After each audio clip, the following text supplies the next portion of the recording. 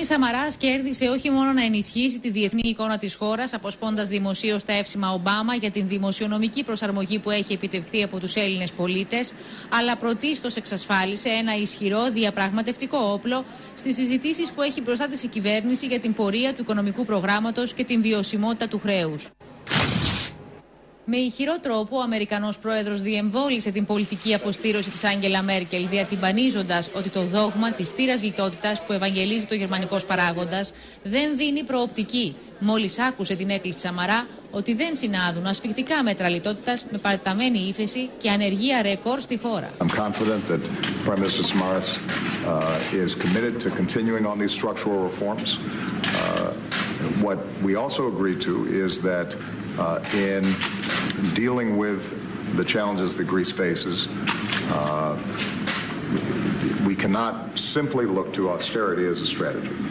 Uh, it's important that we have a plan for fiscal consolidation uh, to manage the debt, but it's also important that growth and jobs uh, uh, are a focus because uh, we know from history that uh, those countries that are growing, those countries where uh, employment uh, is high and, and people uh, are increasing their productivity and uh, feel as if uh, the economy is moving forward, those countries have an easier time reducing their debt burdens uh, than countries that uh, where people are feeling hopeless. And uh, I think Prime Minister uh, Samaras is committed to uh, taking the tough actions that are required, uh, but also understandably wants to make sure that uh, the Greek people uh, see a light at the end of the tunnel. Yes, we've gone through thick and thin. Uh, the sacrifices made by the Greek people are huge, but they're not going to be in vain because what we now need is development of jobs and growth. Of course, we are going to do what has to be done as far as structural changes are concerned, but our emphasis has to be on growth and on the creation of new jobs, especially for the youth, because as I told the president, in Greece, the unemployment for the youth has reached the incredible number of 60%, and total unemployment of 28%.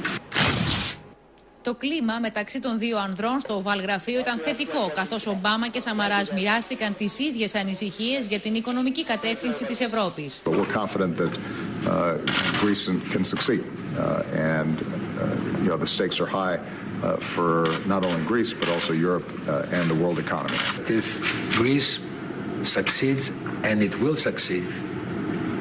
Our success story is going also to be a European success story. And I believe this is very important. Ο Πρωθυπουργός στη συνάντησή του με τον Αμερικανό Πρόεδρο επιχείρησε να προβάλλει τη γεωστρατηγική σημασία της χώρας ως παράγοντα σταθερότητας και να αναδείξει τα πλεονεκτήματά της στον χώρο της ενέργειας. Ο Αμερικανός πρόεδρος συνεχάρηκε δημοσίως τον Πρωθυπουργό για την πολιτική βούληση που επιδεικνύει στην προώθηση των διαρθρωτικών μεταρρυθμίσεων. So far, uh, the Prime Minister has taken some very bold and difficult actions uh, to uh, initiate the structural reforms that can help reduce uh, the debt burden uh, that Greece experiences, uh, but uh, even more importantly, uh, can unleash uh, the incredible talents of the Greek people so that they are effectively competing in this new world economy. The Greek people have sacrificed more than a quarter of their GDP only in the last four years.